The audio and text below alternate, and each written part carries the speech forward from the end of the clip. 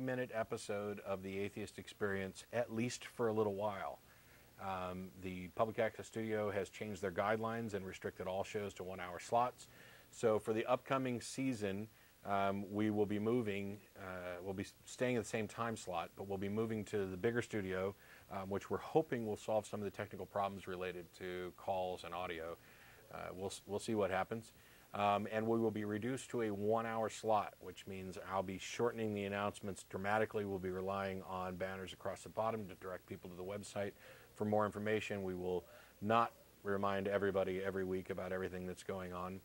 And we may shorten up uh, the topic section of the show uh, in order to get to calls. This also means that, we're going to try to shorten calls in the future. And I, I don't mean that you know everybody gets 20 seconds to make their case and then you know we move on to somebody else. Um, it's just that we will probably stop rambling calls or lengthy discussions a lot quicker than we have in the past. Uh, we're we're optimistic that this this change to an hour uh, won't be devastating for the show, and there are some people who think that may actually uh, you know force some changes that improve the show quality overall. And we're looking into possibly getting a two one-hour slots in future seasons. So we'll see how that goes. Uh, as we're moving to the other studio, the phone number will change. So this is the last week that the phone number, which they're going to put up in a second right over here, which is 512-477-2288. Uh, this is the last week that that number will be valid at all. And next, the next week, October 3rd, there will not be a show. We're being preempted by the Mormons, something that happens yeah. every six months.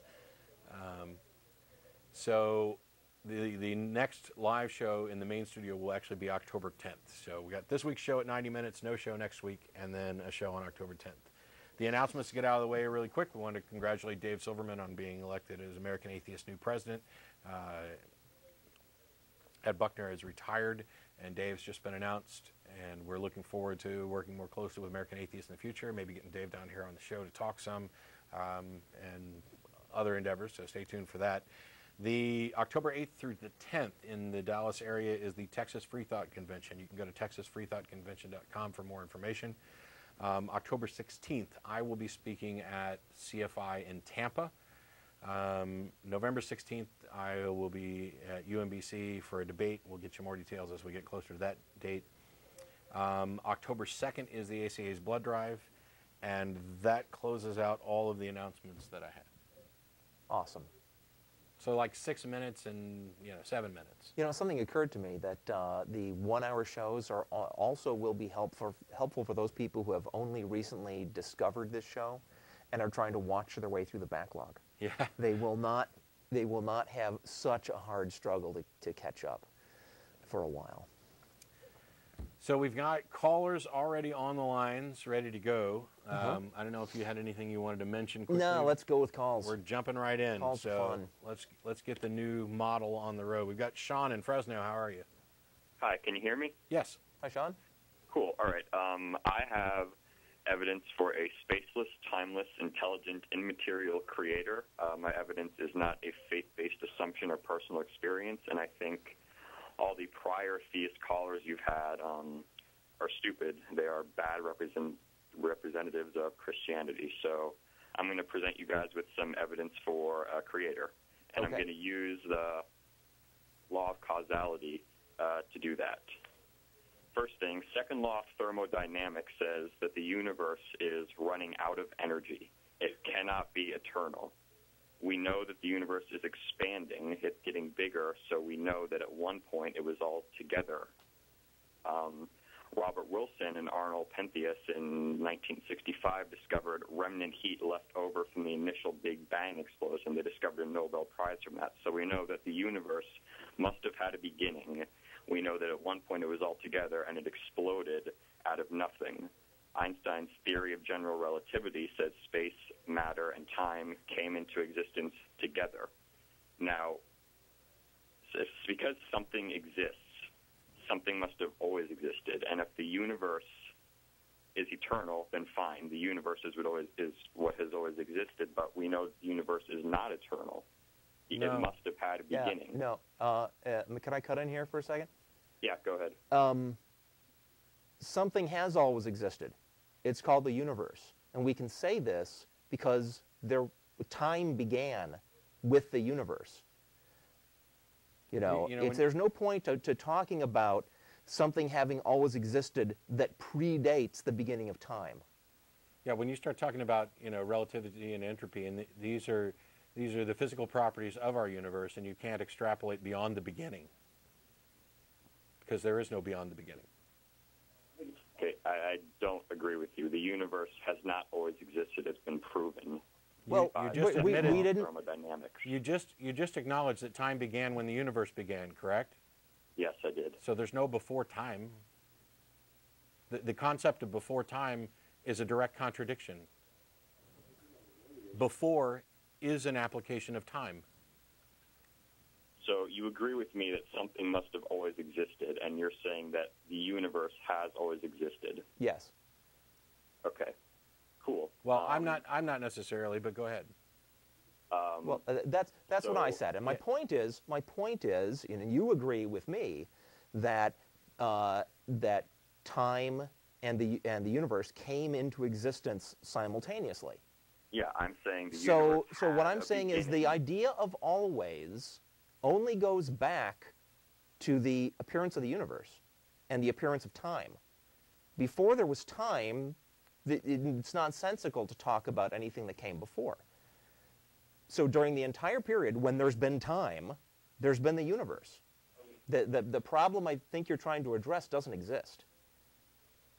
Okay, I'm saying the universe couldn't have always existed. It can't be eternal because the Why law not? of thermodynamics says it's running out of energy. It can't be infinite. It can't be eternal. The universe must have had a beginning. No. And in fact, and in fact, you're wrong there too, because the the uh, the current understanding of the fate of the universe is that uh, yeah, entropy is uh, having its way, and the universe is expanding and spreading out, and energy is dispersing, and there's going to be this thing called the heat death, where you know stuff still exists, but the energy is played out and that will be the eternal state of the universe as it continues to expand. Okay, cool. Um, so I actually lied to your producer and to the chat room. I, I'm actually an atheist. I'm just playing God's advocate. Um, well, we don't really need that. do you do you guys know who Frank Turek is? I've heard the name, but it's yeah, not. he's basic. He's like Richard Dawkins. He uh, travels around the world presenting or trying to present arguments for the existence of God. And he's coming to my college campus tomorrow. Uh-huh. So I just basically read his cosmological argument off his website, and I wanted to hear your guys' response to it because I wanted to uh, have some ammo to ask him some questions and debate with him tomorrow. So we did your homework for you. Yeah, pretty much. Yeah, Sweet. but So but he's- but please please do yourself to a say favor. The universe had Do a beginning. It didn't have a beginning. It's eternal. Do do yourself a favor and you know double check the things we've said. We're not physicists. We're passing on our layman's understanding, right? And uh, yeah, this guy is liable to be able to um, catch you if if you pass on anything we said and we have any of the technical uh, details wrong, right? And then use that to shoot you down.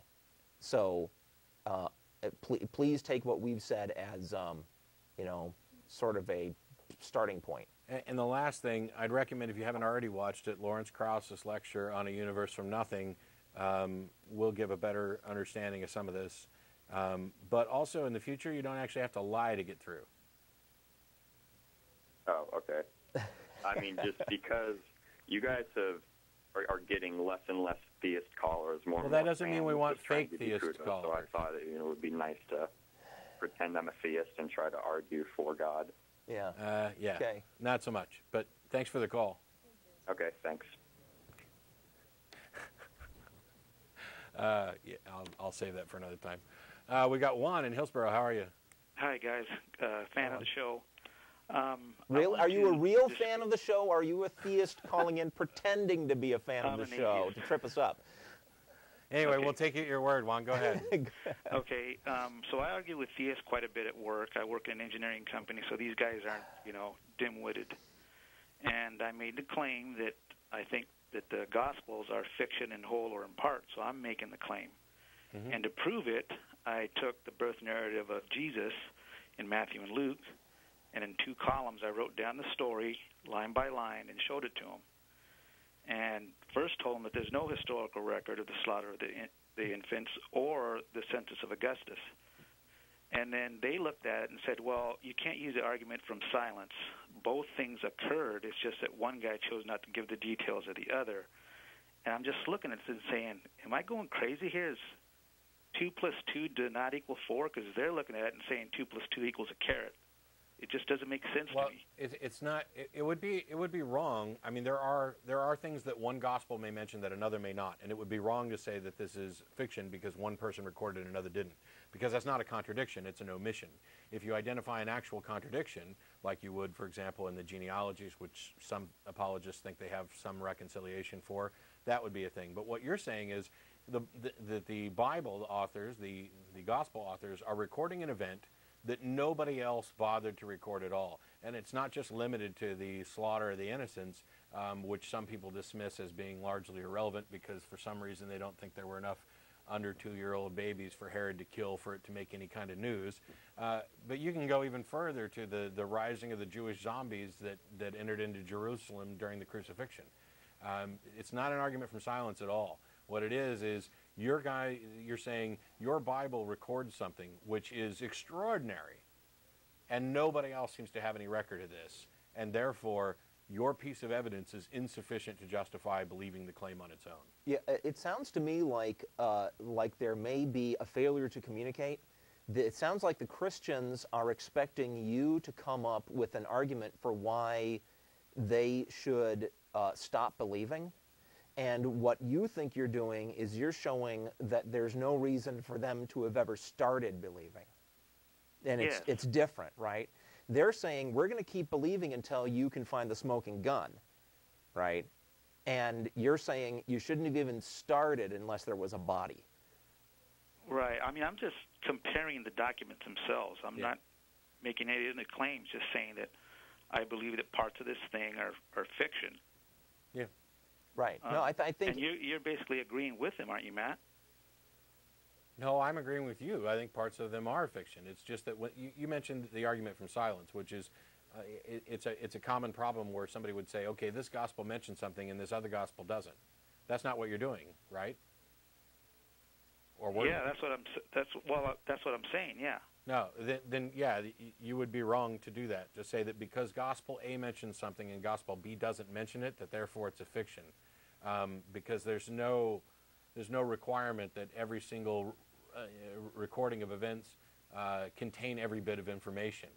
The correct thing to do is to is to compare the event that's recorded by you know the Gospel and compare it to other sources to see if we can find it anywhere else. If there's just this one source or these two sources that are reporting something extraordinary, then that's insufficient. But if you know Matthew mentions the, the slaughter of the innocents and Luke doesn't, that's not a contradiction, uh, a- an omission, a failure to mention it. Now it's the type of thing that we would think, you know, might be recorded, but it, it is not in an. And I, I agree that there's a problem that one gospel is mentioning something that seems significant and another isn't. But that in and of itself is not a, a demolishing to the claim. But, but I mean, in one narrative, they originally live in Bethlehem. In the other one, they originally live in Nazareth. So how can And- both of those things be true? that's not an argument from silence. So on that, the Christians who are accusing you of that are wrong. Yeah. And Okay. but there are I, I just want to make sure that you know there are incredibly easy apologetic responses to that and it's one of the reasons why you, you don't hear me mentioning that particular issue uh, on the tv show because it's not going to have any impact on anybody because all any preacher's got to do is say well um, I, I was born in Kansas City, um, but I grew up in St. Louis. And so, two people who do a, a, a biography of me, one of them may choose to start my life in Kansas City, and another may choose to start it in St. Louis. They're not incorrect. They're talk, you know, they're starting from two different points. Now, I agree that the biblical narrative is more contradictory to that, but that sort of apologetic response is going to make uh, it's, it's going to knock some of the teeth out of what you're trying to do, which is why I always encourage people to go for, you know, the more hard-hitting, you know, this idea that zombies got up and walked into Jerusalem. Um, i- is a little stronger, I think. Okay. Well, thank you. Sure. Thanks, Juan. Mm, Bye. and that there's no independent Right. extra biblical records of that. Or of any of it. Right. And the fact that they perhaps. Well, you can you can pick any you know really eyebrow raising incident from the Bible and make a stronger case that wow you'd think uh, reports would have gotten back to Rome about the zombie invasion. Yeah. And the funny thing is that I think other ways that the Bible can be used against itself is that, you know, you've got Jesus doing miracles and in front of like a crowd, and there are some who believe and some who don't believe. Now, yeah, you know, the the Bible is already admitting that there that there are some people who are just not going to believe even if they see, but it could be the case that these were accurate reports of something happened and some people believed it and some didn't. And Right. so what does that tell us? How is that any different from any other you claim? know I had an email exchange with a guy recently um, who argued that oh he was talking about some religious figure from like 80 years ago or something. I can't remember the guy's name, but his argument was that um, this guy really was a prophet because he healed all these people, and we know he healed all these people because he did it in front of all these a, a- bunch of unbelievers, and uh, they still didn't believe after they'd seen it, but they had seen it. I go, if it wasn't impressive enough to change the minds of the unbelievers, then how is that an argument? And his response was, well, you know, it,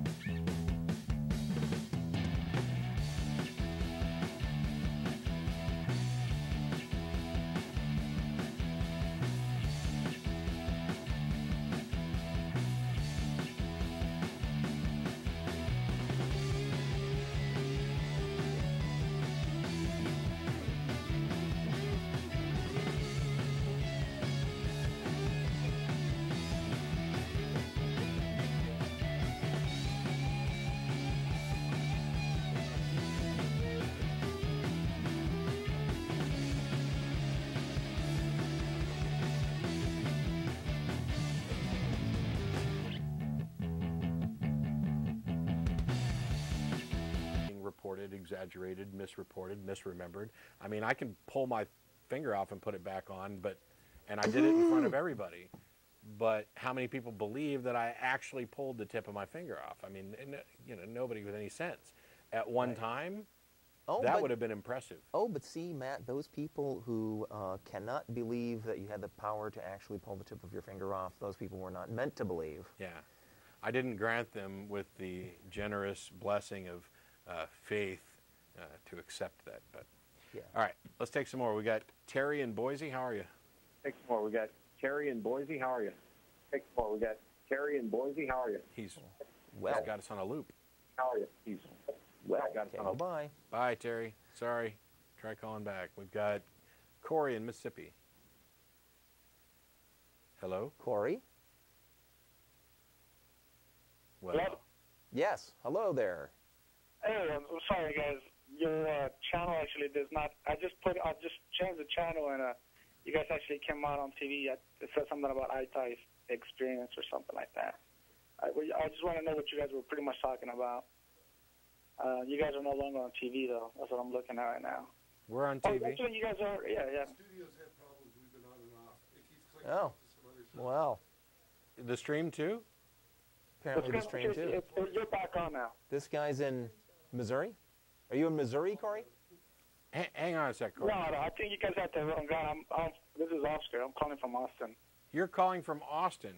For some reason, it says Mississippi. So, okay, so you're saying watching live in Austin, we're being we're going on and off. Okay. I, I don't know. Yeah, but now you guys are back on track. All right. Well, we're recording it all anyway. So, what do you got for us? What are you, what are you guys pretty much uh, talking about? I just heard callers talking about We're just taking calls. Bible. Is that correct? We're, We're- ju- we're just we're- taking calls. This is an atheist show. We, uh, we, we talk about religion. Religion. Do you guys believe in religion or no? no. At all? Well, I mean, I believe religions exist, but I mean, Oh yeah, I know We're that. not. We don't. We don't believe in gods. That's what an atheist is. Is a person that doesn't believe in gods. How come? Uh, well, why should we? Why should you? Yeah. Okay. Um. Well, pretty much, I just wanted to see you guys. So you guys don't believe in Jesus or none of that, right? Well, as as Matt was just explaining, um, it's possible that there was an historical figure on whom those stories are based, but the the um, actual tangible evidence of his existence is pretty sketchy. I don't believe anybody performed miracles or that they are a god or the son of a god or anything like that. Okay. Do you guys believe in uh, uh people? How do you, how did you guys? How, what do you guys think about human humans as far as how we were created? Do you guys? we have- weren't uh, created. Huh? Humans weren't created. What happened? We've evolved How do you know that? because we have evidence. You have other people just thinking of what they're doing, right? No. They're having, No. they're having theories No. about how humans became from apes. Is that correct? Well, that's we share That's common ancestry. You actually think about, right? We share common ancestor with every living thing on the planet. Apes are some of our closest ancestors, and this has been demonstrated uh, by not only the fossil record but by genetics. I mean, evolution's a done deal. Anybody who's still arguing that evolution uh, isn't supported by evidence just doesn't know how to open their eyes. Are you a scientist? Am I a scientist? No. Are you? Are you? Do you have a match, a bachelor's or a master's on that? No. Do I need one? Do you have to? That's what. That's why I just asked you. Are you a- Corey, are you a are actually telling theologian? Are you a theologian, Corey? No, no, no, no, no. no. Pretty much, uh, I just wanted to see because, see, basically, when you read the Bible, you're pretty much thinking of what other people are telling you, right? I, I, when I've read the Bible, I've read it at face value. Okay, but the thing is, since ever since you're pretty much since you're young or since you're little, you pretty much are being taught that there's a God, his name is J- Jesus or Maria Guadalupe or whatever type of religious, right? Sure. You got okay. Well, if you're not a scientist, but you believe in evolution, but you're not a scientist at all, you actually just believe in other people's what they're thinking. No, or their no, No, I, under, hypotheses, I right? understand what science is and how it works and how it's done, and that's why I uh, why I take it seriously when scientists say that they've discovered a thing. Not only that, but the evidence is there for anybody to assess and understand for themselves. You can have you, have you never been to a natural history museum? I never have, but like I said, I'm not a scientist myself. I, if if I just go to school and they're teaching me, this is how we're back. What back since you're, uh, let's say 1993 or 1991, the scientists thought there was eight planets, right? That's what we're, we were being taught. That's what you guys were actually being taught yourselves. Excuse Sure. me? Sure. How many planets planets are there now? Well, there were nine, and then there were eight, and now there's nine again. But that's The- because they changed the class.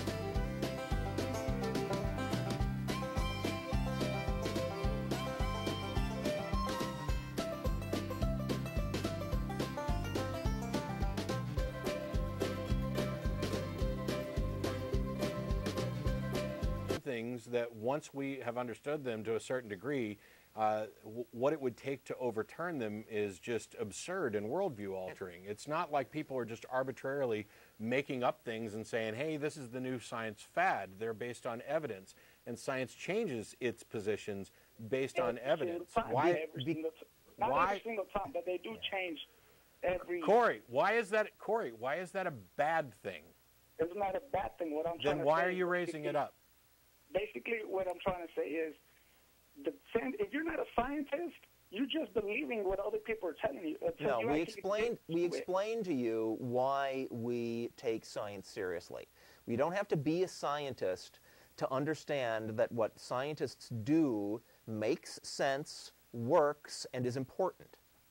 Okay. Do you guys believe in extraterrestrials? I think it's incredibly unlikely that there are not uh, intelligent living things somewhere out in space. But do I think any of them have landed on the Earth? No. Okay, that's good. Okay, that's all I pretty much wanted to know. I just, what do you guys think after people die? They're dead. I know they're dead. Do you? So you don't believe in sin at all, right? That's basically what you guys are telling me. Don't believe what? Sin. Basically, if you die, you were a bad person, you go to hell.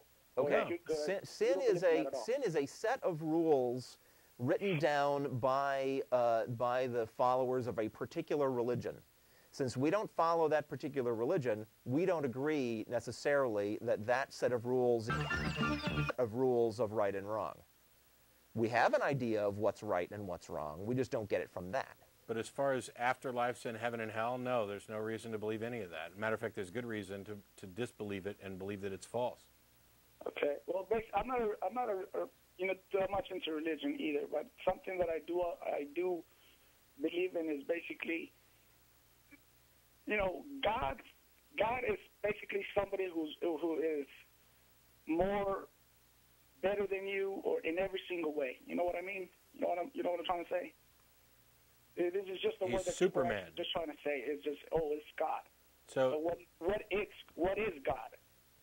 Uh, that's that's on our job. You tell us what God is, and we'll look at that and tell you whether we believe that there is such a thing.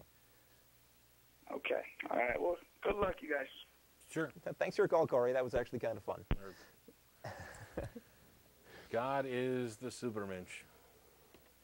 We've got Pat in Pasadena. How are you? Pat, are you there? Yes, I'm here. Hi. Pat. How are you today? We're good. Good. I just wanted to call in. I, I had several issues. I'm I'm a Christian, hmm but I'm not the Christian that I'm not the type of Christian that the traditional Christian. So you're not like I used to be. Uh, I don't know how you used to be. Okay. Good answer. Um, I, I do believe in God, Uh-huh. but I believe I, I I don't believe that Jesus is God. Okay. I believe that Jesus is part of God, like we all are, and I don't believe that God is a person.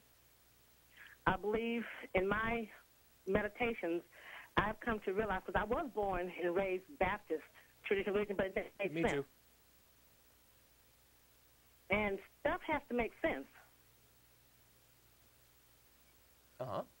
And uh, when I started meditating, I entered into the energy that's inside of us. And Okay. it's like a whole world Okay. that's, that's inside of us, but Okay. it's deep, deep, deep inside of us. Yeah, Okay. And after realizing that, I realized that that it's all energy. Okay. Stop. Uh huh. How do you know any of this? You're, you're meditating and you say you entered the energies that are deep inside of us. That that's nonsensical until you explain it. Okay. Well, I I left my body How do you know? because I I could feel it. I could feel the energy inside me. I didn't know what it was at the point. I, I really didn't know what it was. But it was kind of scary Okay. If you didn't know what it was, how did you was- find out what it was? because when I started telling everybody about my experience, uh, everybody thought I was crazy except one person. Uh, and the person who didn't think you were crazy said you left your body. No, what she was? She had studied metaphysics, and she told me I was being introduced to metaphysics because everything I told her was stuff she had studied and read about, and I had never studied or read about it. Okay, the type of thing you're talking about when you say metaphysics isn't anything that's demonstrably real. There's nobody with any demonstrable expertise in it, and it's no different from the one person who didn't think you were crazy just making stuff up. No, it, but metaphysics, the way we explain it, spiritual metaphysics is understanding life from the physical realm as well as the invisible realm. What invisible realm, and how do you know it exists? Because I was there, I was there. I've seen people that no. were there that had passed on to the next dimension. But, but, but Pat, you said you didn't know what it was. No, and when I was somebody explaining else, to her somebody else saw- told you, told you what they thought it was, and now you're telling us that that's what it was. The thing is, we're not convinced by that person who told you that what you experienced was a metaphysical realm. Well, when she told me that they were gifts of the Spirit, and when she also said that because she had studied the life of Jesus, that these were some of the uh, gifts that he had. And I was said- told not to go swimming until 30 minutes after I ate. Does that Excuse make me? it? Does that make it No, true? no, no, no. But the stuff that I saw was undeniable. Uh, okay. Well, uh, uh, uh, we, I mean, we could prove you wrong by just denying it right now, but that won't make for a very okay. good conversation. It clearly is deniable because it's just your word over everybody else's, except for those occasional people who have reached the same conclusion as you. Well, You know, I mean, uh, the, uh, the only evidence you've got, Pat, the only evidence you've given us for why we should take what you're saying seriously as, you know, uh, as uh, representative of some real um, uh, metaphysical realm is because this other person told you so. Well, I, I proved it in my own life.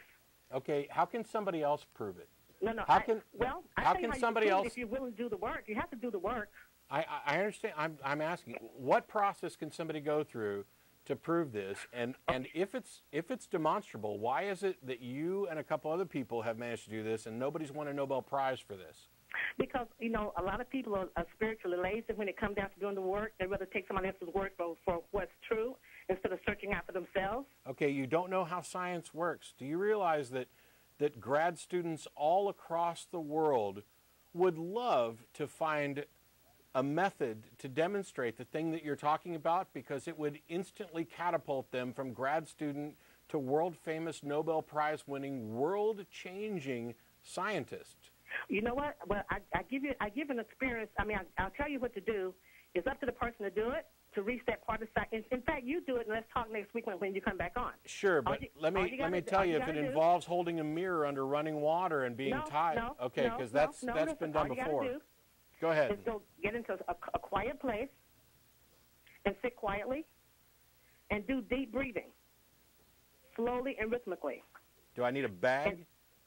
No, no. And as you're breathing, just ask yourself, who am I? Okay. And it may take a while. It may take a half an hour. It may take an hour.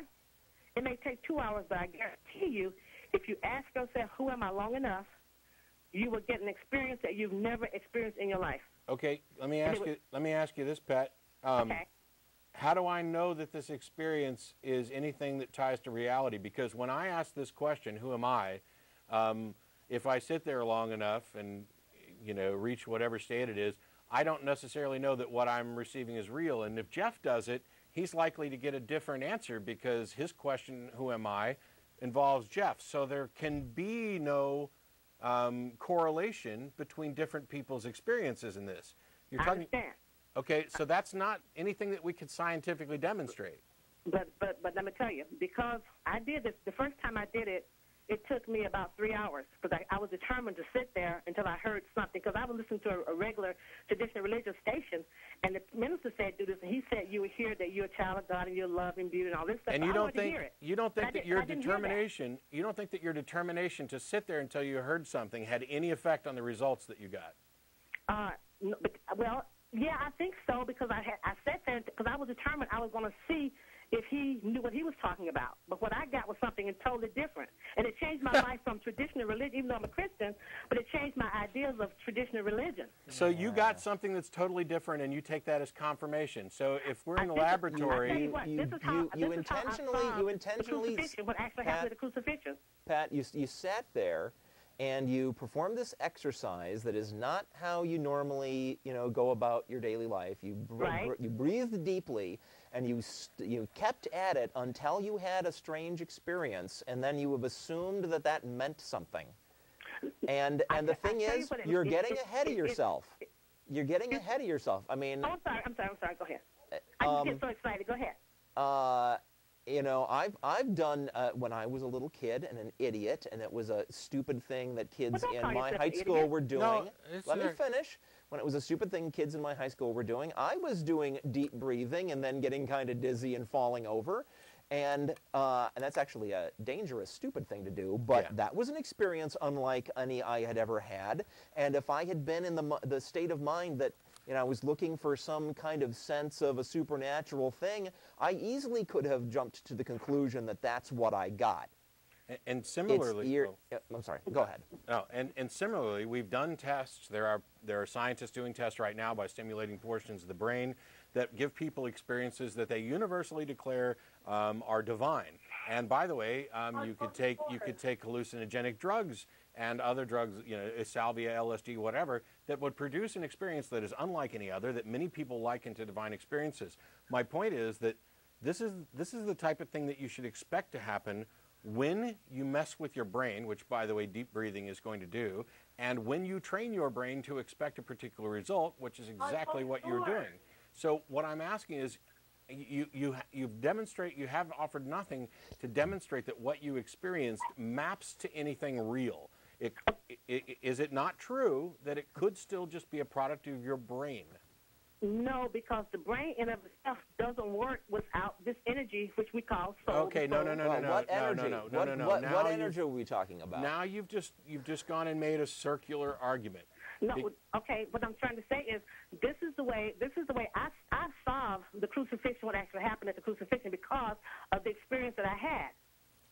I've solved. I've solved. In fact, I've just written a book about it. Well, I, I'm I, I, I'm I'm glad that you saw it, but you know, and I'll sit down and do some some deep breathing, and maybe we can talk about it again. But um, I, you'll have to, unfortunately, and I don't mean this disrespectfully. Unfortunately, you'll have to put me in the category of people who do think that you're crazy, and Well, not Matt, not crazy Matt, across the board. Matt, listen. Not crazy across the board. I, I don't think you're nuts. I don't think you need to be locked up. I'm saying that on on this subject, you've had experiences, and you and I don't doubt that you had experiences. I'll take you at your word for that. The, Mm-hmm. the problem is that you cannot tie those experiences to reality. People have hallucinations. a lot of hallucinations. things peop- you can't prove a lot of things in reality, but they still exist. yes, no, no, no, no, no. The- Yeah. The, things that we can demonstrate in reality are the things that exist. That's it.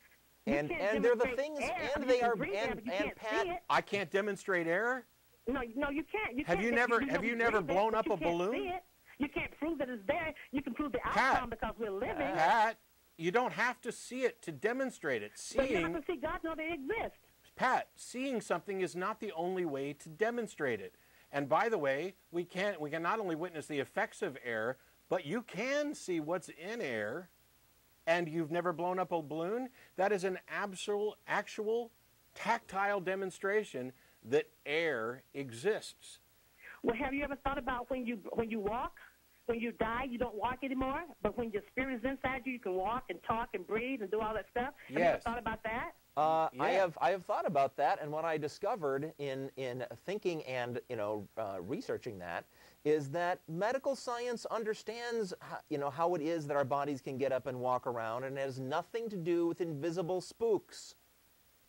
Well, you know, I, I brought two people out of comas when the doctor said they weren't going to come out because of my understanding of the astral world. Because I travel, I've astral You have traveled before. you have documentation of this? Y- Why Yeah, didn't you collect yeah, the million dollars from yeah. the James Randi Educational Yeah, James Foundation? Randi has a million dollars for you if you can prove that any of this crap is true.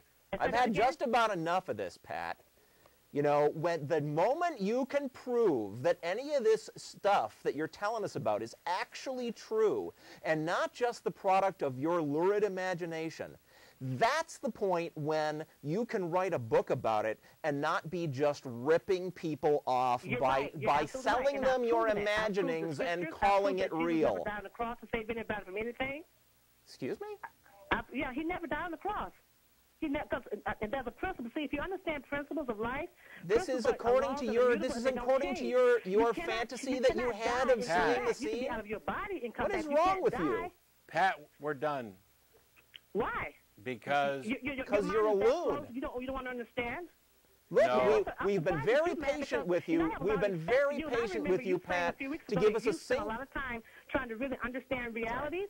And if you read in Ecclesiastes, it tells you just like a, it's a principle. Like if you have a baby, Hey, you know what? Captain Kirk umbilical asked why God needed you- a starship. You're done. Wow. We, we just don't we want to understand. We were understand very, clearly. very patient with you, Pat. We gave you all the time in the world to give us a single reason why we should take the stuff you were telling us seriously. And instead of actually offering or attempting to understand, all you did was jump from well, I witnessed the crucifixion, and uh, come on now, who's not going to think you're like crazy when you start saying stuff like that? And, And- the only evidence is that you experienced And it. then I actually called you, called her a loon, which you know I, I'll admit there's a possibility that I'm wrong. There's a possibility that Pat's not a loon, but I'm going with my uh, uh, with my you know carefully calculated reaction to the way that she pres presented herself. Yeah, You there's know, I a very mean- good chance that that Pat um, is accurate and has accurate information, and everything that she experiences is real and maps to real- reality. Yeah. And there's also a chance that the schizophrenics and people who who hallucinate um, are actually seeing a realm that you and I can't actually see, or Right. at least I can't see. I don't know what you can see, uh, but until it's demonstrated.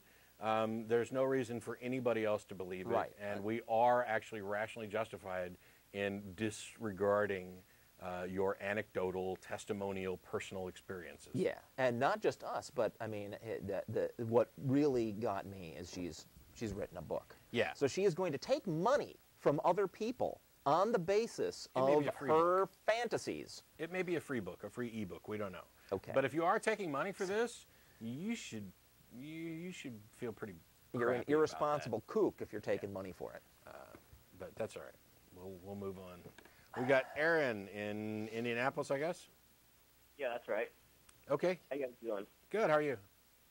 I'm doing fine. Um, just just to be clear from the outset, I am an atheist. I've read, you know, you know, I don't know how many books against the existence of God and about evolution and all that. Mm-hmm. And and um, it, and something really funny happened. Like about a week ago, I was at a birthday party, and the father, like the father-in-law of the little boy, let's see, no, a grandfather of the boy who was turning four. Anyway, he he he was given a prayer, and he prayed to our heavenly Father to bless the food and stuff.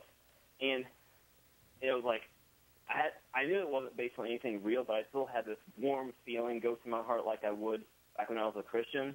Sure. So it's like it was a conditioned response, or maybe I was empathizing with what they felt or something. Like, yeah. Do you guys Um, do you guys still feel that?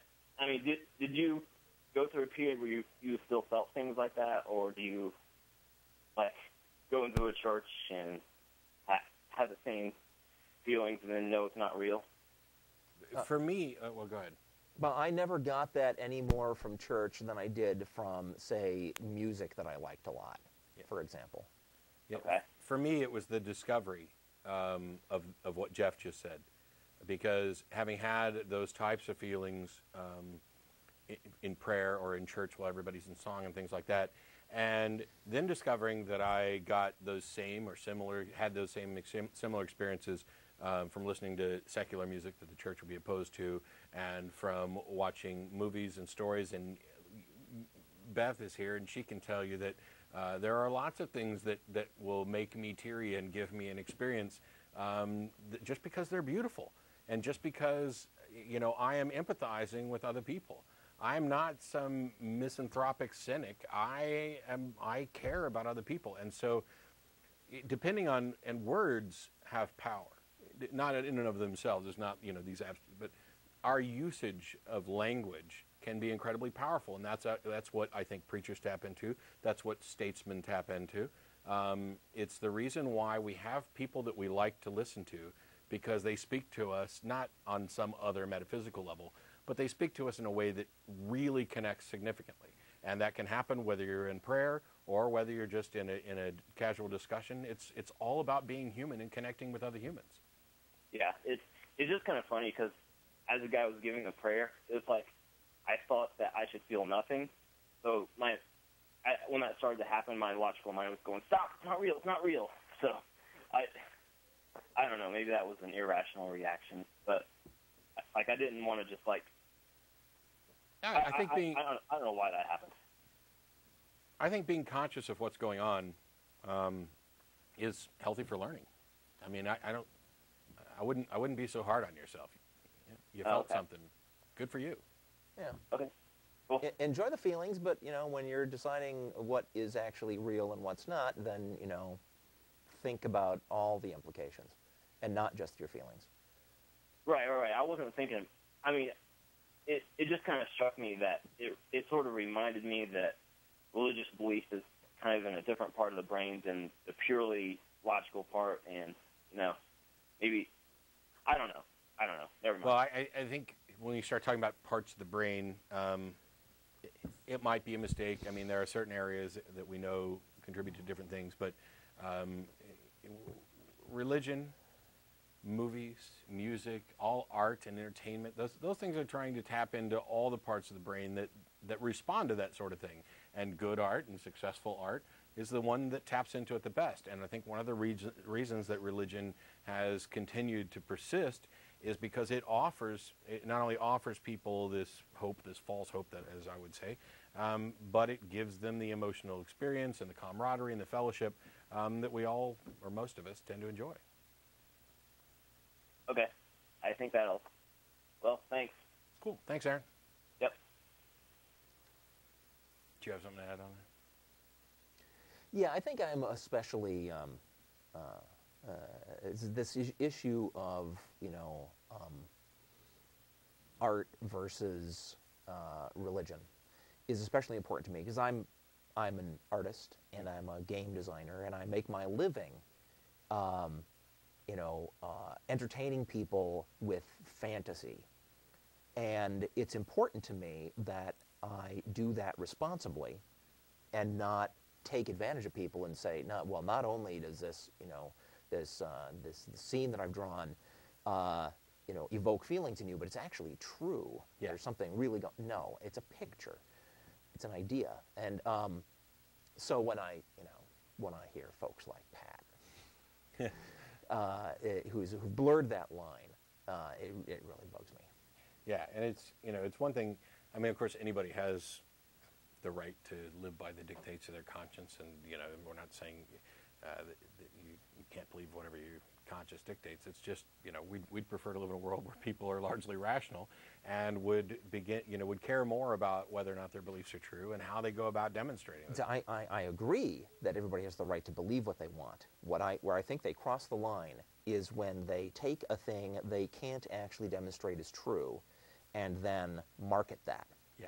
That is not them individually believing what they believe. Right. That's them irresponsibly taking advantage of others. Yeah. And, and that's called fraud.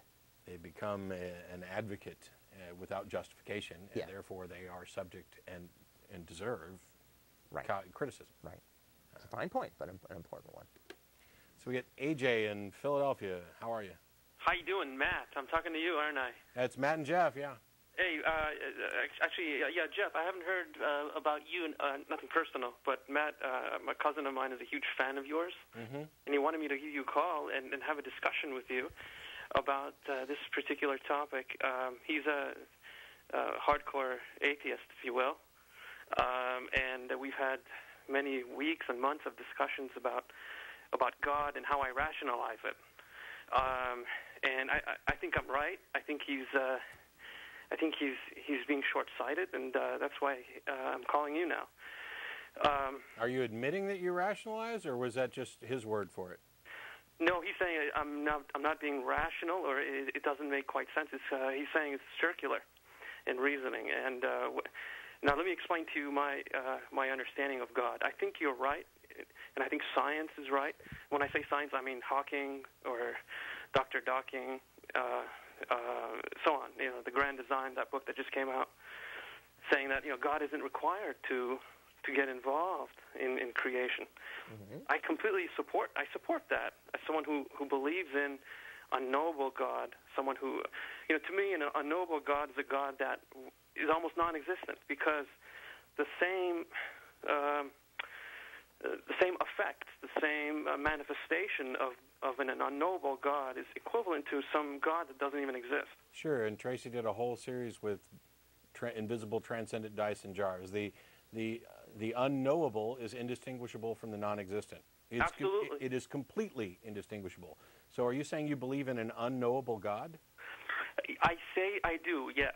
What if if you if you acknowledge that what you believe in is indistinguishable from something uh, that is not real, then you have to know that you can't make a distinction between it not being real and you're believing. I mean, you, having what is the justification for belief in Uh, the excellent unknowable? question. Uh, I can answer that. Okay. The answer to that is I, I think that even though God is unknowable, He has, uh, you know, uh, that everything has happened by chance, but this chance is really purposeful. Okay, so that God has guided humanity through the last, let's just say, six thousand years. And I'm saying that because that's all we have recorded history of is six thousand years. But He's guided humanity through manifestations that He sends to mankind to help guide, so that we don't kill ourselves off the planet. Okay, hang on, hang on. You you started off by saying that you think that everything occurred by chance, but it's purposeful chance.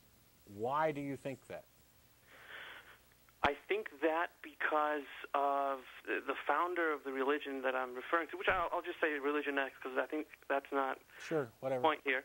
Uh, it, the founder of, of that religion has stated very clearly that all the mentions, every religion that has ever mentioned God, referred to God, prayed to God, was actually referring to Him.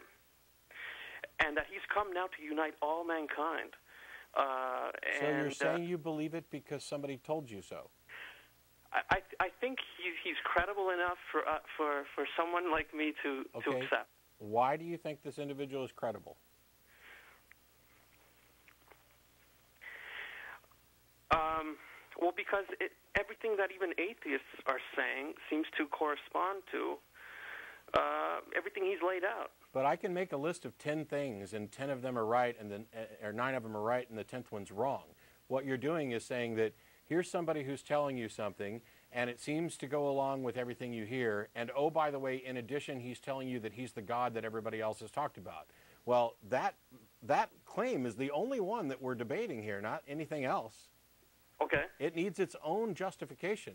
The fact that, that other claims by this individual agree with other things are entirely irrelevant as to whether or not the claim that he is the God everybody else is talking about right. um, is true. And also, I can demonstrate that that is necessarily false because the God, there's not a God that everybody else is talking about. The ideas, the, the, the concepts of gods that exist in other religions are in many cases mutually exclusive, which means they cannot possibly be pointing to the same individual.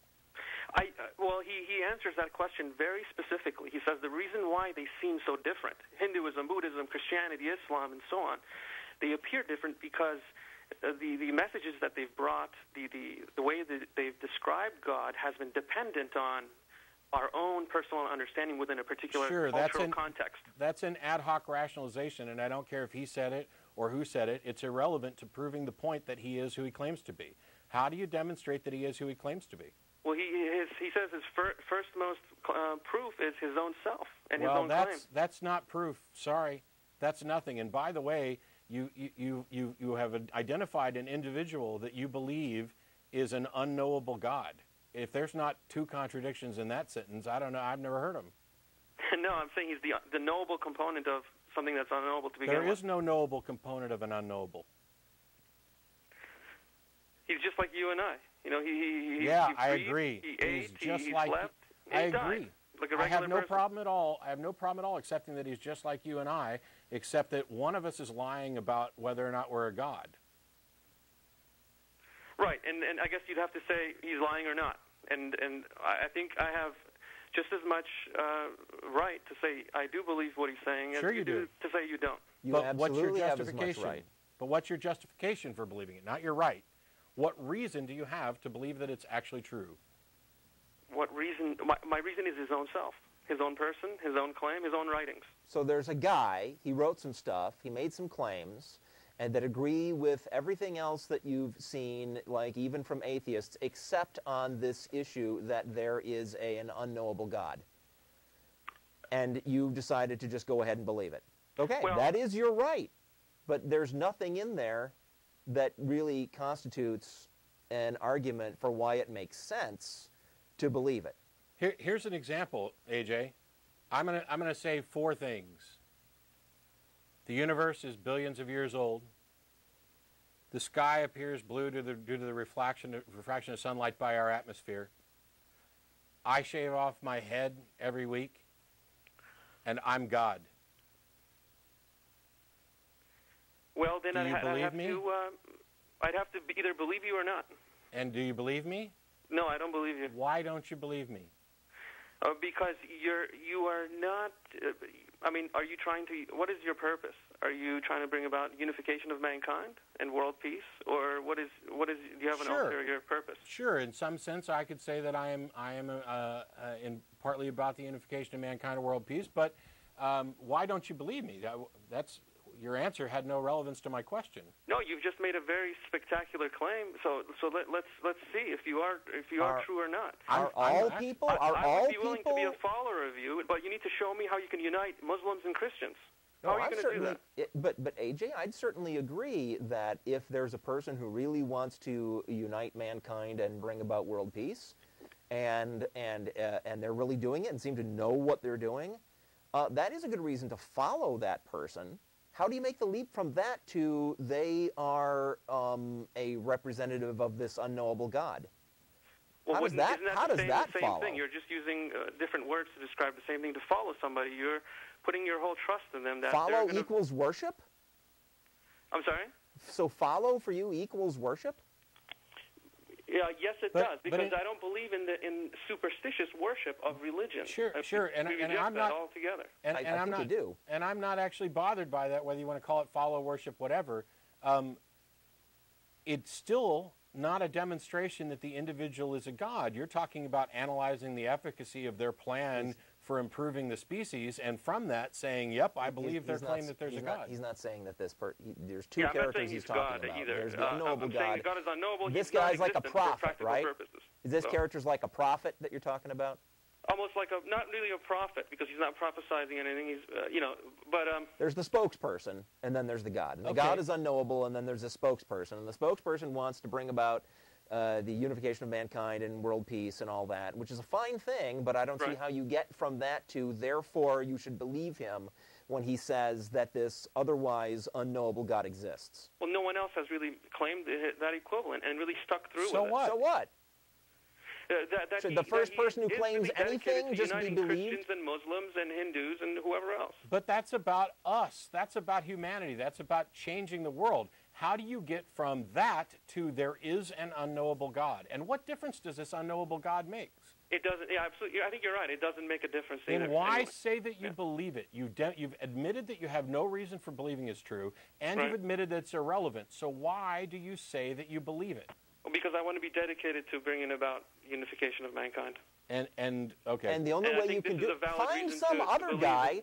My re- my recommendation is find some other guy who is interested in uniting humans and bringing about world peace, who does not ask you to also believe an additional thing that he can't prove and that is irrelevant. Well, the Find reason why somebody I don't want to do that is because that's not practical. There's Muslims and Christians who believe in God. You can't just take away their belief. Someone comes and Sure says, "Hey. I'm representing that unknowable God. Believe in me." He's going to unify uh, religious people. Look, let me let me put it to you this way. Uh, first of all, you can liberate people from their religious beliefs. Jeff and I are walking, talking proof of that.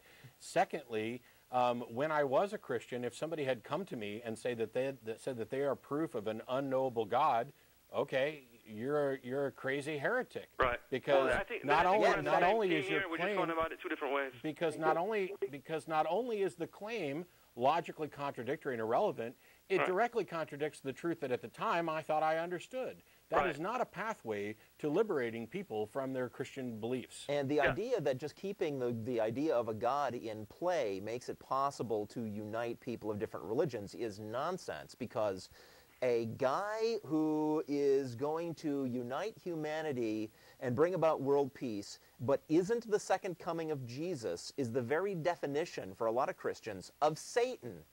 And- the, I'm sorry, the Antichrist. Yeah. The Antichrist. A- Right. So, no, that is not a recipe for uniting everyone. And, and lastly, AJ, if if what you're really doing is trying to keep this concept of God alive to use it as a tool, and you actually don't believe it and this God is irrelevant, then you are engaged in dishonesty and sophistry, and you are convincing people to give up their beliefs for bad reasons. And that's the worst thing you can possibly do because we want people to give up their beliefs or to believe things for good reasons because they already believe things for bad reasons.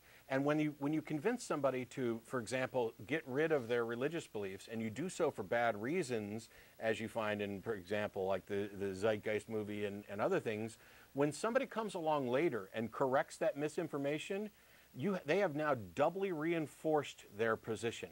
You, you, you don't want to lead people away with misinformation because as soon as it's exposed as false, as soon as they begin to understand that what you're really claiming is logically contradictory, that you're, what you're really claiming is irrelevant to the point, and that they have been duped again, you've lost. I think there's a fine line between uh, straight out lying and, and being tactful and using wisdom. I don't. I don't. I, I think best Sure. of luck to you. I don't think your method is going to work. To be honest, I mean, look I at got five years. 6,000 Of, I got five years of emails that prove you wrong, AJ. What do you got? I have 160 years of, of, of transformation of individual human beings. Oh my aching ass! You don't have 160 years of nothing. You're what? 24, 25, maybe? No, I'm not, oh, I'm talking about the whole the whole the whole caboodle here, the whole thing here, from from the beginning of of this this thing I'm talking about. But um, well, good luck. I mean, I guess I have to. I can just say good luck here, and uh, maybe maybe you'll uh, succeed in bringing about uh, these things you claim, unity of mankind and uh, oneness of humanity. We didn't, we didn't actually say that that was our job. I mean, we'd certainly like it to happen, but you know, Yeah, Right. I'm- I'm I not- work in the that's- well, computer game different. industry. I- That's what I do. I make games that, for a that is living. his job. So Huh? I think that makes him a little bit uh, uh, his claim uh, better. Eh, not if he has to lie to do it. Yeah.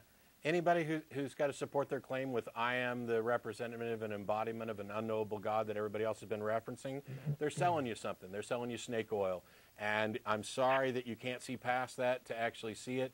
Um, I realize that a lot of people have to have seem to seem to need this concept of a God in order to bolster their beliefs. Uh, I don't, and I'd like to encourage other people to get to a position where they don't, because we can keep the good and get rid of the bad. We can keep No. the good ideas wherever they come from, and there's no reason, as you noted, to actually believe the thing that you believe, other than you. It makes you feel better.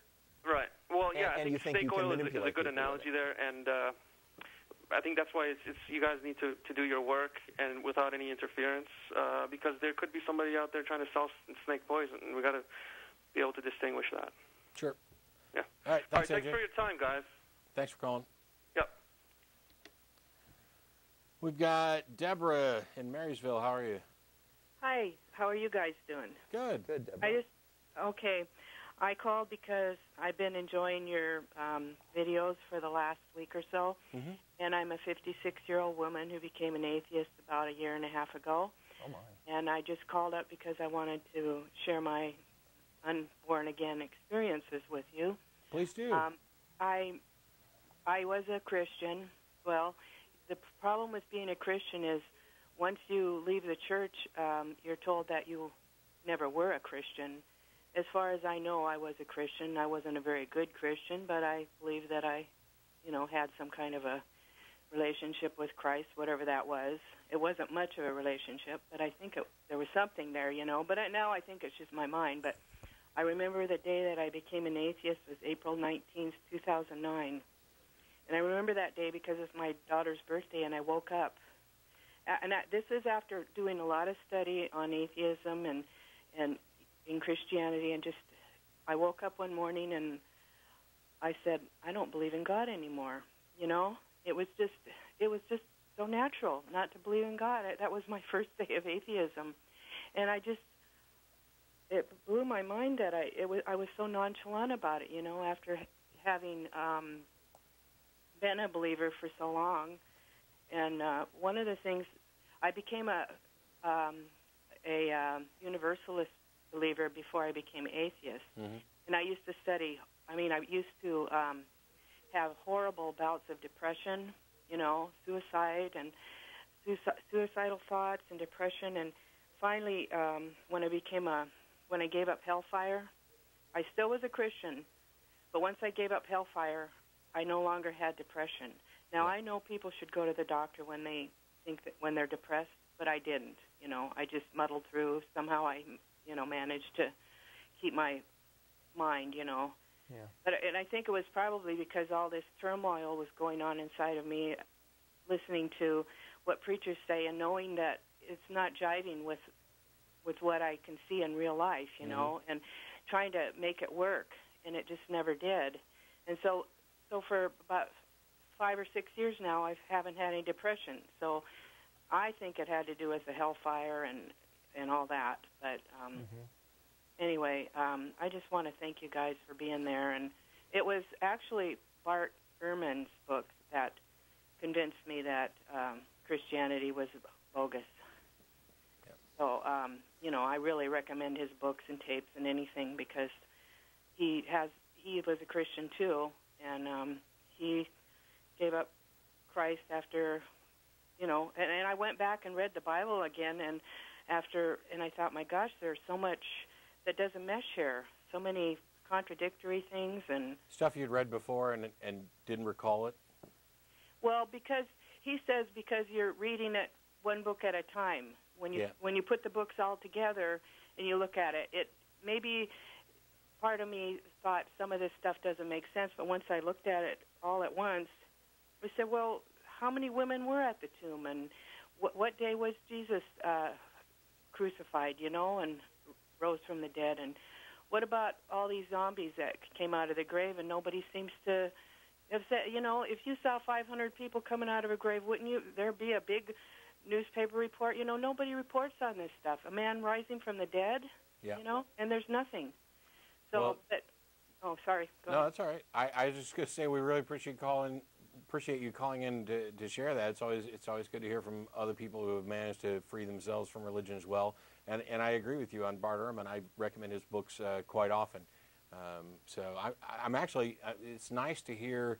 I mean, I don't know you know how it affected the rest of your life, but this idea that you have been depression free and that it was a you know morning realization that was rather nonchalant, um, I think is important because I can't identify the day that I first identified as an atheist, but I do remember the period of time, and it was incredibly liberating. And I do agree that these this hellfire and damnation stuff is um, not just a tool to keep people believing, but it's a particularly vile one because I think it promotes, uh, it damages individuals' mental health and encourages things like depression. Yeah, I I agree to- totally because that's what happened to me, and and I I really believe it was hellfire all those years, even though I didn't identify it as hellfire. You know that I was afraid. I because there was another thing about religion is the fear. You know, you you can't live up to it. Nobody can do it. You know, I used to be, I, I used to have fear because, gee, I'm not tithing. You know, Yep. or I I sinned again. There I go cussing again. You know, now I think this is just normal stuff, you know. We, we do things that are wrong, and now I laugh at a lot of the things I do. Okay, so I can't, I can't stop cussing now. You know, I mean, I'm not even going to try anymore. You know, I I can stop cussing when I'm in a, you know, with a group of people, and you know they kind of religious. I still have religious people in my family. Yeah, it's it's But, one of um, the things of religion where where many of them have gone to extreme lengths to make the normal everyday actions of humans uh, something that you should feel guilty for, whether Yeah. it be sex or Right. language or anything like that. Uh, and I, I find it eh, so absolutely vile and hateful that it's it's the reason one of the reasons that uh, we do what we do. Yeah. Well, I appreciate it. So thank you very much. Thanks for calling, Deborah. Appreciate it. Okay. Bye. We've got, oh, as a reminder, and we've got Luke, but hang on a second. Luke, as a reminder, after the show is over, we get together and go to dinner at Threadgill's, 301 West Riverside Drive. And for those of you who missed the announcements earlier on, uh, this is the last week of 90 minute shows for now. Uh, we're going to be shifting to hour long shows. There will not be a show next week, October 3rd. Uh, we're being preempted by the Mormons, but October 10th, there will be a show. We'll be in the new studio, and it'll be an hour show. So the phone number will be starting changing at the same time. starting at the same time, I think. Uh, we can double check, but yes, starting at the same time. So it's 4:30 to 5:30, and there'll be a new phone number. So make sure you uh, tune in the live stream for that if you're out of town or, or watch us live. But we're still other everything else is still the same. Luke, are you there? Hey, yeah, I'm here. Welcome to the show, Luke. Hey, um, thanks for having me on. I follow you guys a lot on YouTube and stuff, but uh, really like you guys' show. It's it's great. I'm an atheist myself, and I debate with uh, theists and agnostics and all that a lot, trying to just expand knowledge and make sure that my beliefs are tested and all that. Um, I have a topic that I wanted to talk about today and see what your guys' thoughts on it are. all right. Um, so people, humans, are everything is uh, increasingly complex chemical reactions, right? It, the brain is just basically chemical reactions happening to create a consciousness.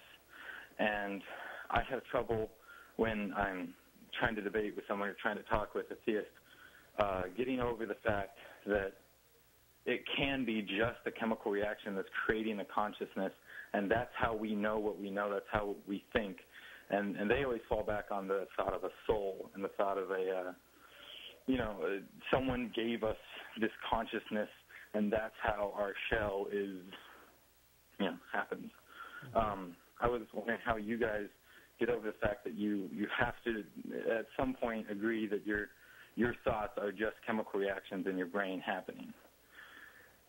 How do we get over that fact? You mean how we how we defend it in an argument, or how we live with it? I guess how you live with it, and it's not a problem. I guess I guess how you could see someone else. Um, you you know what I mean? Like when somebody else has to get over the fact that, and I I guess it's get over the fact. Just live with the fact that they they are. There is a margin of error. You could just everything in life could just be electron or uh, what is it neurons firing. That's it. It it could be all simulated. It could be the matrix, quote unquote. Oh, correct.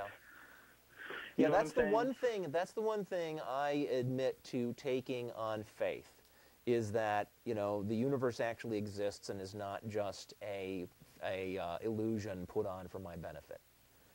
I know I can't prove that, but um, I'm I'm comfortable assuming that that's not the case, because uh, otherwise I'd have no basis for you know caring about anything if, If- it was all just an illusion. If you're kind of addressing uh, the, going from the position of believing that you have some kind of soul to the position of accepting that you don't, how, how do you deal with that? To me, it's kind of like if you lived your whole life and somebody told you that you had an invisible third arm, Mhm. and then you realize that you don't have an invisible third arm. That's just the way it is. I mean, it, it's like being disappointed that you didn't win the lottery. Right. Yeah. All right, I get it. I mean, like, I understand what you guys are saying. I was just wondering what you guys' thought on the whole. Like, how can you trust what you're thinking um, if you are a slave to chemical reactions Well, let's your brain? suppose let's suppose that our consciousness was some kind of supernatural, spooky thing that you know um, that uh, uh, it uh, it takes over our bodies and makes us dance around. I mean, how, how is that any better? How come some invisible spooky thing is so much more trustworthy than uh, than chemical reactions? I, I understand. I- They, I, I understand that a, that a theist would say it's because your soul is uh, you're manipulated by this benevolent, awesome being, which obviously I don't believe that it's benevolent. a benevolent, awesome, awesome that, being could do all. I mean, but uh, um, a benevolent thing could do all kinds of stuff to you for your own good, right? Uh, and and it could still be a pack of lies. Right. You know, religion is all about lying to people for their own good. Right. I mean, Yeah, I mean, you could be I- in much the same way that you could be a brain in a vat or an individual in a matrix. You could be a soul in a soul testing environment by some. uh, You you haven't avoided the problem at all. Right. Okay. Yeah, I, I guess that is just sidestepping uh, a little bit. I, I- I will guys do- for your time. I didn't want to run up too much, but yeah. Sure. Thanks, Luke. I will do my normal uh, or my new normal uh, quick take on why the soul, as it's generally portrayed, is a, an utterly untenable uh, hypothesis. And it's because everything that we know about who we are is limited and identifiable in the brain. And the research that we've been doing, if you look up V.S. Ramachandran, for example, um, there's the good example of the split brain patients, um, where they develop two entirely different personalities, one being an atheist, one being a Christian. They have different likes. They communicate uh, differently. So when that happens, when we split that brain, did we split a soul in half? Did we create a new soul? Um, and you know the, the math of, of, of that soul doesn't work out. Also, brains have been brains have been reset by uh, trauma to where they have an utterly different personality. If, if somebody was saved and then they suffer some dramatic trauma, uh, are they now unsaved? Um, or you know, it's it's absurd.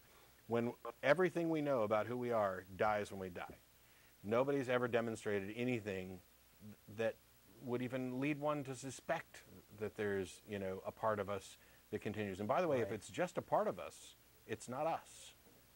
Um, my brain is is the producer of my uh, you know who I am, my personality, my likes, my preferences, etc. You know, how much of me could possibly survive if we know that this you know physical process is actually creating that? Well, I'm a transhumanist, so I kind of disagree with you. I think Yeah. that if you can if you can duplicate the process that is going on inside my brain perfectly, then you've exactly duplicated me. And I would But- agree that but that's you've a whole exactly separate- duplicated me. that's a whole separate But it's discussion. not me. Yeah, I But- think. Well, I think it is. Anyway, depends on that depends on what you want to identify with. yeah. Anyway, we're way off topic there, Luke. Uh, that's cool. No, that's basically what I was wanting to talk about anyway. All right. Thanks, guys. Sure. Thanks for the call. At- As a reminder, um, you can put that thing back up that Frank's shown twice, real quick. We won. The Atheist Experience was voted by our viewers, by the public in general, as the best public access TV show uh, in Austin by the Austin Chronicle. And so we wanted to thank everybody for that. There's the banner we got for it. We're going to leave it down here at the studio. And we'll show it probably from time to time while we gloat over the fact that we absolutely rock. uh, but thanks everybody who voted. I appreciate it. There's a there's a lot of work that goes into the show, uh, and most of it is not done by me. Uh, the co-hosts do more work than I do, and the people behind the scenes who do the setup and keep the show alive do much more work than I do. Um, so I was really happy uh, that the producers went down uh, to pick up that award because they are a huge part of what makes this show the best. Mm. We are the best. Mm. Take that, Alex Jones. We've got Ed here in Austin. How are you, Ed? I'm all right. How are you? Good. Uh, well, I was going to talk about uh, my uh, own personal experience with pain management and uh, the relaxation uh, protocol and what what and uh, apply it to something that Pat was talking about her her spiritual experience when she meditated. Mm-hmm. But um, and I, you know I believe that I, I personally experienced you know, going in myself, in my mind, my body, and actually uh, helping myself, relieving myself of pain, and uh, through through relaxation, which is there's very little difference between what I think people are talking about when they say relaxation and when they say meditation. The, the relaxation people just don't like the religious connotations that go along with meditation. You know, is basically what it is. But science, scientists are, and the medical profession are uh, somewhat reluctantly in some sense, in the Western sense, but they are starting to look at this type of uh, how our mind can uh, help our bodies overcome illness and pain and discomfort and stuff like that. Sure, and we've looked at hypnosis, for example, as you know, anesthetic or other things like that. Right. Yeah, and no, I, I- I don't- I, I- I, really thought that uh, just a couple of points, real quick. Uh, what uh, I thought Jeff said something very interesting a minute ago about the spooky uh, powers and that uh, uh, how is the how is the idea of this spooky thing out there more comforting than than the idea of a chemical reaction in our body. And uh, I think that's a really interesting point. I, I mean, I agree with you guys on some stuff, but uh, we're, we're different as day and night for the most part. But I think that's very interesting. I think we're at the dawning of a new age, paradigm shifting thing going on. And I believe, or I think, I don't believe very much. I think a theory that I have is that but things are changing, and that what used to be comforting, this idea that there's a God or that there's this spiritual realm, used to be a comforting thing. And I think our, our thought process, the human thought process, has evolved to a point where it's no longer, it's becoming not as comforting. It's becoming less comforting. The idea that there's a God is becoming really scary. And the idea that there's not a God is becoming more, looking more like a comfort zone for a lot of, for a lot of folks. That's my personal theory about that. Yeah, we're Uh, different as night and day because I have no fear uh, of the idea that there is a God, and I'm not an atheist because it brings me comfort. Yeah, well, I would expect you to say that. I called in one time and argued with you about the placebo effect, and that they've documented how taking placebos and, and people being misled, the, the misinformation, or the misleading element of the placebo, placebo effect actually has healing benefits for people. And uh, you pretended, like I was saying, that the placebo, that it, the actual sugar pill was turned into medicine, which is not what I was saying at all. I was just saying that if somehow belief was helping people, shouldn't we look into that? And should we just not be so quick? I say we very generously. Shouldn't you be not so quick to debunk belief as a possible something that humans I'm not. can maybe use? I think you do. I I'm, think I'm do. perfectly familiar with the placebo effect, and I'm also uh, aware that that uh, people are actually doing studies on how much the brain can affect. I mean, if the brain is my pain sensor, there are certain things that it, it is reasonably uh, possible for the brain to do. It's the one that, that you know triggers the release of antibodies and all of the things in my body. So it's it's certainly plausible that there may be mechanisms like that, and the placebo effect demonstrates it. I'm not disregarding that at all. I'm You saying did, that, when, yeah, you did when I called, but uh, now you're saying something different. By the way, you still owe me a steak dinner. I doubt that, but You do. You, you you admitted that you you said you'd give me a McDonald's Happy Meal, but I I've been, I gave a perfectly good example of, of one benefit that religion has provided that a secular source could not provide for human beings. And what I was gave that? A perfectly good example, and it was, I was talking to you and Jeff. And what was Jeff made this incredibly asinine point that because religious people were in prison, that that proved religion didn't make people good. Uh, First of all, that's not scientific at all. Would you and care to- second would you all, care it's to not even what I was repeat, saying, 'cause I wasn't saying Ed? religion made people good. I was saying, yeah. My Would you point ca- would you was care to repeat the the thing that- idea, the belief that people have in an Yeah. all-seeing, all-knowing God that will Yeah. send them to hell was a, had a behavior modification effect that couldn't be provided by a secular source. sure it can. What? It can be provided by any fear source. It can also, by the way, we can modify people's behavior for good without the fear. Yeah, look at look at European. No, we- look listen, at we, we, you admitted that Ed. fear, the religious Ed. fear, had benefits. You Ed. admitted that. But what your point was that the that the criminal justice society could somehow replace this idea of an all-seeing No, God. no, not the Criminal Justice Society, which I, I will admit that the idea that laws exist and are enforceable is also one way to, to modify behavior.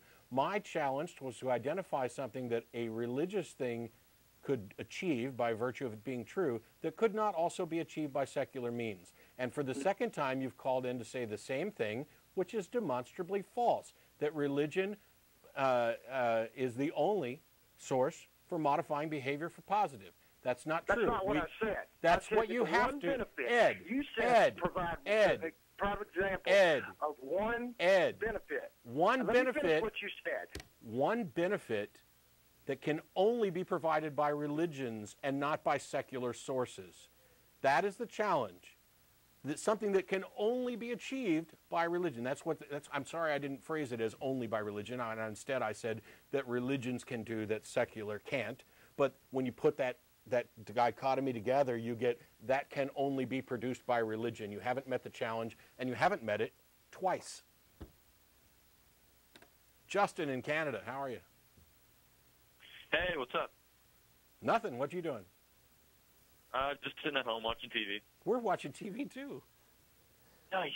We're just All seeing right, us um, though on the listen, monitor. I'm a It's not that exciting. I'm just stating up front right now. I am completely religious. I, I'm a follow Christian, Uh huh. and I believe I believe this way Uh huh. because I, it was a vision that my me and my whole family saw. It was at uh, last year's Easter, and um, it was really weird. It creeps me out. We were all sitting in the same room, and we we were just talking, celebrating Easter together, and um, we had a bright light glow in the doorway, and I swear I swear you, a man walked illuminated by a gold light and said, "Son, I just lost the game. You're a fat nigger. Fuck you, Dave." Nice. Well, that's a terrible way to end the show. Thanks everybody for for participating. I completely forgot and lost track of time. We will not be here next week. We'll be here in two weeks in the new studio for an hour. Uh, sorry, and our voters guide's got 60 responses so far. Keep contacting the people we sent it out to, and check the website for more information.